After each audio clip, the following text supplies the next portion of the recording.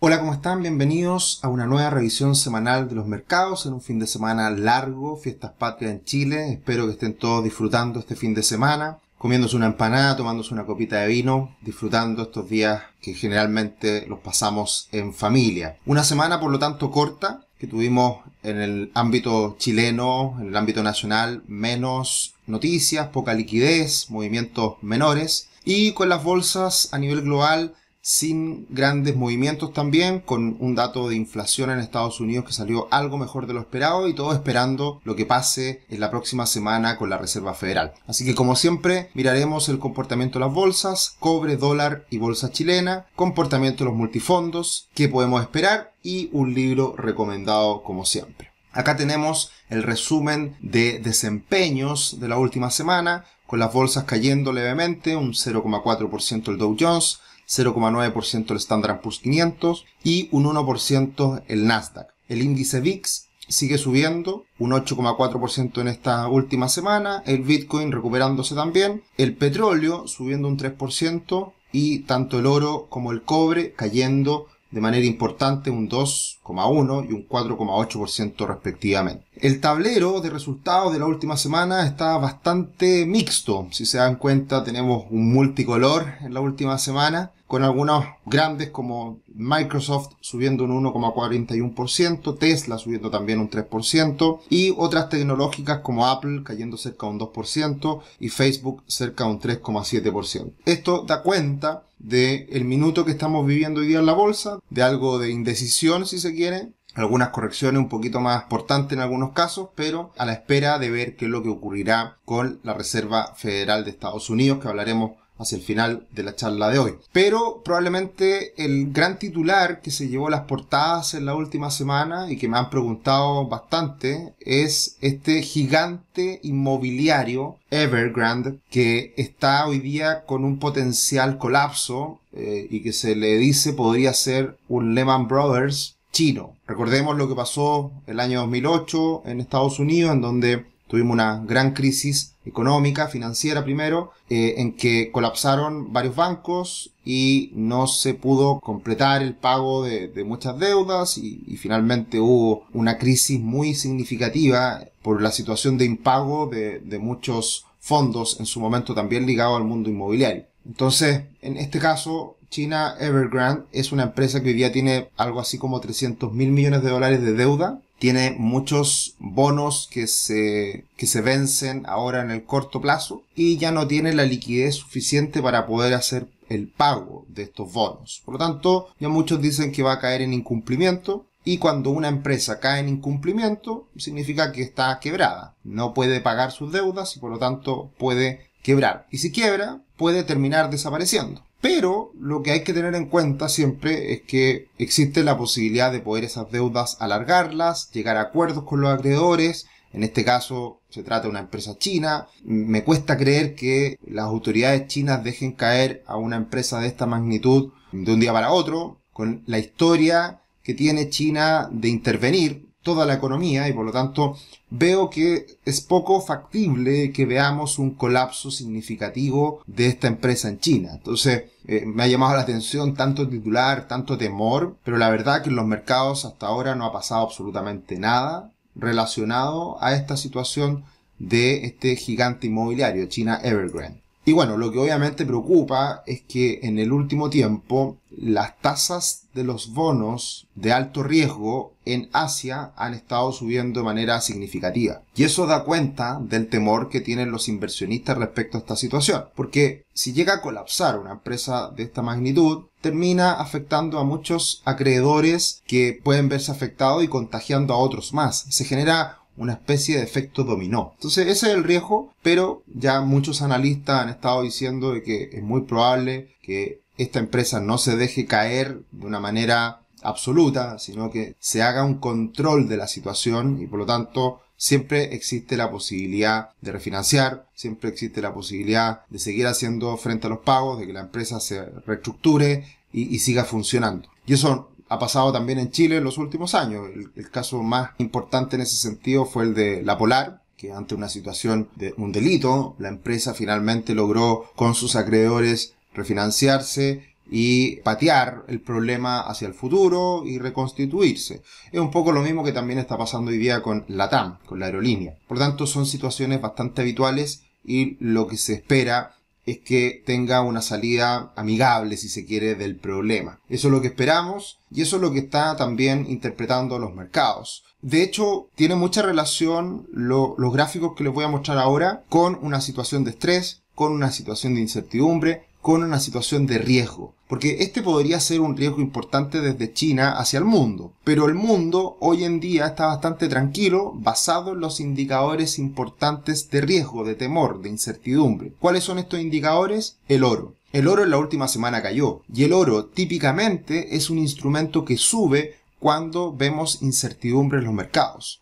Entonces, el hecho de que el oro todavía esté muy contenido con una trayectoria a la baja en lo más reciente, quiere decir que hay bastante tranquilidad en los mercados en el último tiempo. Ese es un aspecto importante a tener en cuenta. El segundo indicador de riesgo es el dólar yen. Por ahí alguien me preguntaba, después de la visión semanal de la semana pasada, eh, por qué el dólar yen era importante para capturar estos riesgos de mercado. Y como vemos en este gráfico, el dólar yen está en una situación de estabilidad, de indecisión, un típico triángulo que por donde rompa va a dar cuenta de cómo el mercado se está tomando las nuevas noticias que van apareciendo. ¿Por qué es importante el dólar yen? Porque históricamente cuando hay situaciones de crisis, cuando hay situaciones de incertidumbre graves, cuando realmente hay que tomarla en cuenta, el dólar yen cae muy fuerte. Es decir, cae el dólar, se aprecia, se fortalece el yen japonés. Y esto es básicamente por una situación histórica que ha vivido Estados Unidos-Japón respecto a las tasas de interés. Que históricamente, hace ya mucho tiempo, muchos inversionistas se han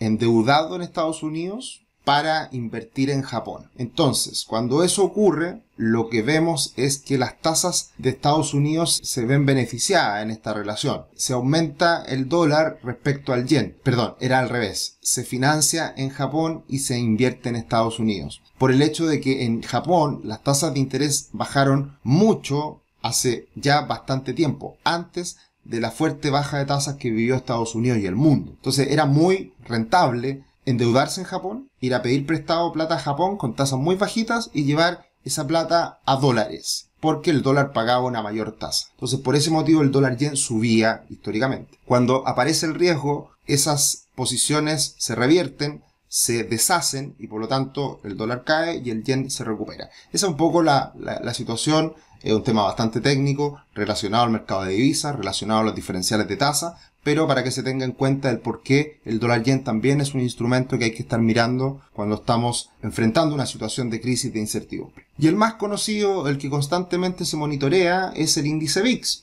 que también lo comentamos la semana pasada, está en una situación también de estabilidad en la parte baja del último tiempo de transacciones, un nivel muy bajo en torno a los 15 puntos, pero subiendo, recuperándose las últimas semanas. Hay que tener en cuenta que los niveles de 25 son un nivel clave. Si lo llega a romper, también estaría dando cuenta de un mayor riesgo en el mercado. Entonces, estos tres indicadores, el oro, el dólar yen y el VIX, son indicadores que nos permiten ir apreciando cómo se va dando un escenario de incertidumbre y si realmente estamos presentes, enfrentando una situación de riesgo. Así que eh, importante hacer mención también relacionado a lo que ha pasado en el último tiempo con este gigante chino, con Evergrande, que es una situación de riesgo importante también en los mercados.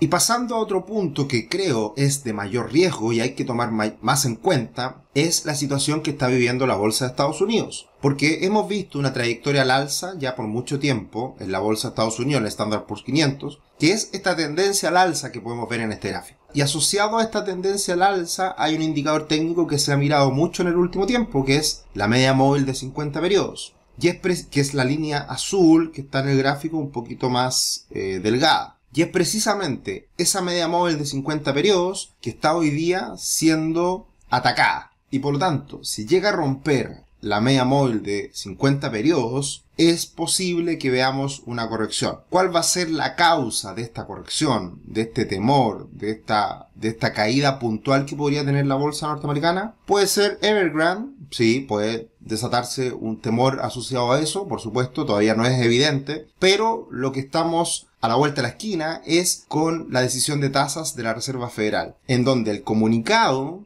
de Jerome Powell y la conferencia de prensa que veamos puede generar mayores temores más allá de lo que está pasando en China. Entonces, este es un aspecto muy importante que hay que tener en cuenta y que esta semana es clave monitorear porque si se llega a romper este soporte puede generar una corrección de corto plazo que es lo que muchos están esperando. Y en ese sentido, volvemos a monitorear lo que fue la encuesta mensual de Bank of America en donde se insiste en que la mayor preocupación hoy en día es la inflación. Ya había aumentado en agosto respecto a julio, y ahora en septiembre vuelve a aumentar respecto a agosto. Otro aspecto importante que ya disminuye en, cierta medida es el taper tantrum, que es el retiro de estímulos por parte de la Reserva Federal. Así que también ese sigue siendo un, un aspecto de incertidumbre importante hoy día en el mercado. Y en tercer lugar está la variante Delta de lo que hemos visto en el último tiempo con la pandemia. Entonces ahí están los tres principales focos de, riesgo. Después tenemos la burbuja de activos, la política de China, eh, riesgos geopolíticos, que son siempre aspectos que están presentes dentro de este conjunto de noticias, de factores que podrían generar algún descalabro en los mercados. Pero lo más importante sin duda son la inflación y el retiro de estímulos por parte de la Reserva Federal. Y otro aspecto que hemos ido mencionando es que se comienza a observar una desaceleración económica a nivel global pensando en el año 2022 después de este gran impulso que hemos visto el presente año 2021. Entonces, lo que ya empiezan a capturar los analistas, lo que empiezan a, coincidir muchos de ellos, es que los beneficios, las utilidades de las empresas van a empezar a decaer. Después de, de haber visto un gran impulso en el inicio de este año, con muy buenas perspectivas, se comienza a observar un giro. Y eso es preocupante porque también otra situación similar se vio el año 2008-2009. Eh, entonces es ahí cuando estamos en presencia de otros riesgos que son, bueno, ya hemos crecido, ya no hemos recuperado, ¿hasta cuándo va a llegar esa recuperación? Así que yo diría que más allá del caso de este gigante inmobiliario China Evergrande, hay que tener en consideración otros aspectos que vienen más bien desde Estados Unidos, con los gigantes tecnológicos y las grandes empresas de Estados Unidos, que sin duda tienen mayor impacto en el comportamiento de los mercados. Como siempre, los dejamos cordialmente invitados a nuestro canal de YouTube, Finanzas Personales y Educación Financiera para todos ustedes. Queremos ser un aporte, también que nos sigan, ya sea en Instagram o en Twitter, arroba cetricio, arroba Rubix, que nos den sus comentarios, me gusta, somos felices con, con la interacción que tenemos con todos ustedes. Y también en estas semanas que hemos estado subiendo mayor información. Está pendiente un webinar del dólar que hicimos la última semana. Hace poco tiempo atrás hicimos uno sobre las tasas de interés y vienen dos webinars más en este mes de septiembre. Así que para que estén muy atentos y revisando la información que vamos subiendo semana a semana. El cobre decíamos la semana pasada que estaba llegando a un techo importante en torno a los 4 dólares con 40 centavos, un poquito más arriba. Precisamente fue respetado ese nivel y terminamos la semana en 4 dólares con 25 centavos. También el cobre puede ser un referente de lo que esté pasando en China. Así que también vamos a tener que estar atentos a lo que pase con el metal rojo. Así que mantiene esta fase correctiva, esta desaceleración que está viviendo el cobre después del gran repunte post pandemia. El dólar ha estado cayendo un poquito en los últimos días, desde los 7.95, pero le cuesta caer. Obviamente estamos en una situación al alza que se mantiene.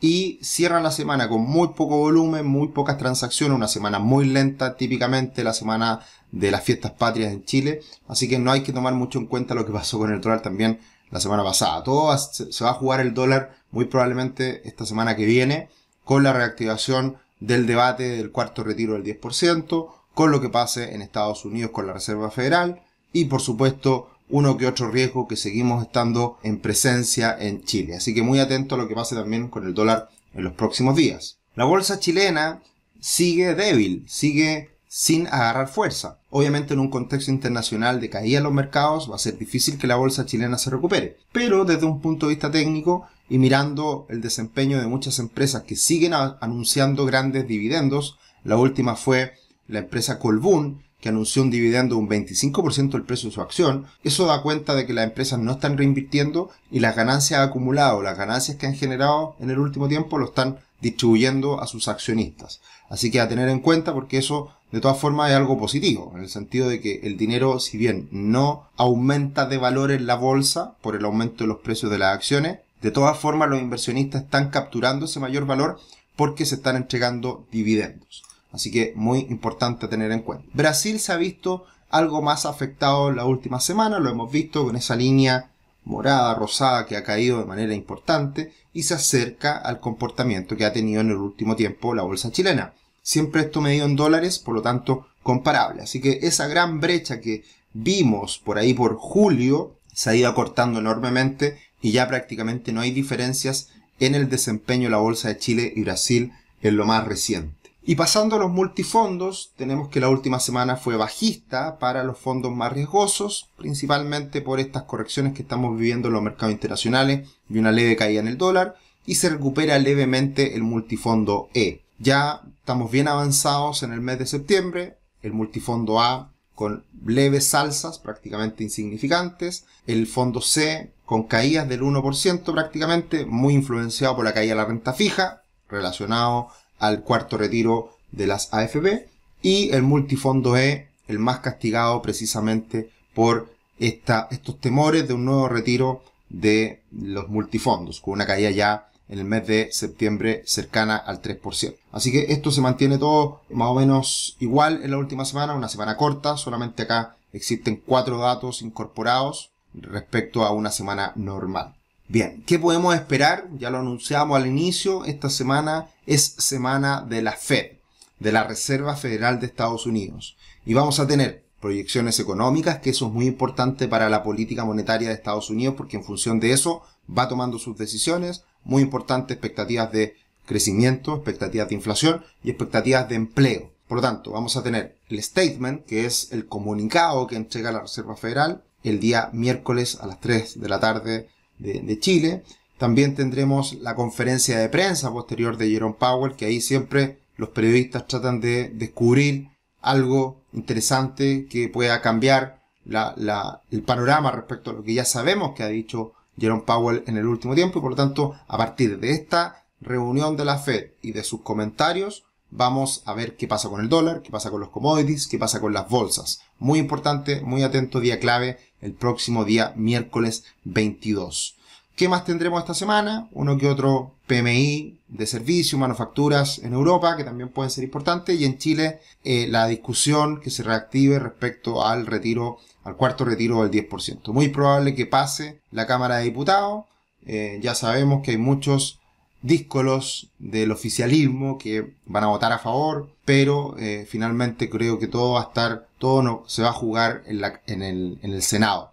Y al parecer no estarían los votos en el Senado para aprobarse este cuarto retiro del 10%, que yo creo que es bueno parar, frenar la fiesta, la farra que se han dado los políticos en el último tiempo. Un indicador que a menudo estoy monitoreando, el indicador de sentimiento alcista de la Asociación Americana de Inversionistas Individuales, es un indicador de sentimiento contrario, por lo tanto cuando este indicador cae, cuando los inversionistas individuales están pesimistas, es muy probable que la bolsa suba y en contraposición, cuando los inversionistas individuales están muy optimistas, es muy factible que la bolsa caiga. ¿Por qué? porque en general el inversionista retail eh, es un inversionista que toma decisiones más bien emocionales, sin tanta información y por lo tanto eh, decisiones que son en cierta medida al revés de lo que se debería hacer. Por lo tanto, este indicador, al caer fuertemente en las últimas semanas, es un indicador que por sentimiento contrario puede ser positivo para la bolsa en el futuro.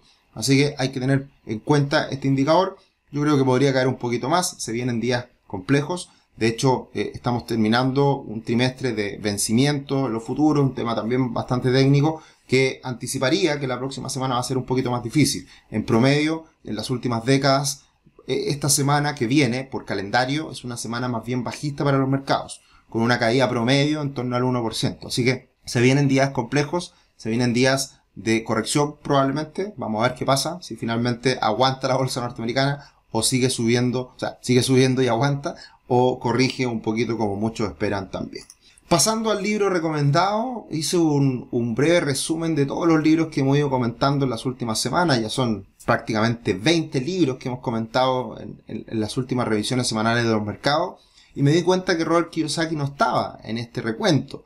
Y obviamente Padre Rico, Padre Pobre es uno de los libros básicos que hay que leerse cuando uno se introduce en el mundo de las finanzas personales. Es el número uno es el bestseller más vendido de finanzas personales a nivel global, con un tono bastante ameno, muy entretenido leer, cortito y con, y con una historia muy interesante respecto a su padre rico y su padre pobre, como lo dice el libro, en donde se explican diferentes conceptos muy importantes de las finanzas personales. Así que cualquiera que se quiera introducir en este mundo, yo le recomiendo, por supuesto, leer Padre Rico, Padre Pobre. Después, las próximas semanas vamos a hablar de otros de mis favoritos de Robert Kiyosaki, que son los más antiguos. Los más nuevos, la verdad, que a mí personalmente no me han gustado mucho. Y, como lo he mencionado en otras ocasiones, Robert Kiyosaki se ha dedicado a hablar mucho del oro, de la plata, de la destrucción del dólar, y ha sido bastante catastrofista en ese sentido hace muchos años atrás. Y, por lo tanto creo que se fue para otro lado. Eh, pero Padre Rico, Padre Pobre y otros libros más que vamos a comentar. Me gusta mucho, lo recomiendo mucho. Es un gran libro para eh, regalar, de hecho, a, una persona que uno quiera y, que precisamente quiera ayudar en el ámbito de las finanzas personales. Esto ha sido todo por hoy. Nuevamente, fruten, sigan disfrutando las fiestas patrias. Algunos se han tomado vacaciones en estos días, así que sigan disfrutando. Eh, siempre el mes de septiembre para nosotros en Chile es un mes que nos gusta mucho, que disfrutamos mucho, con buen clima. Así que eh, feliz de estar acompañándolo acá. Y bueno, los dejo invitados para todos los webinars y, y revisiones semanales de los mercados que seguiremos haciendo. Que estén muy bien, un abrazo, hasta la próxima. Chao, chao.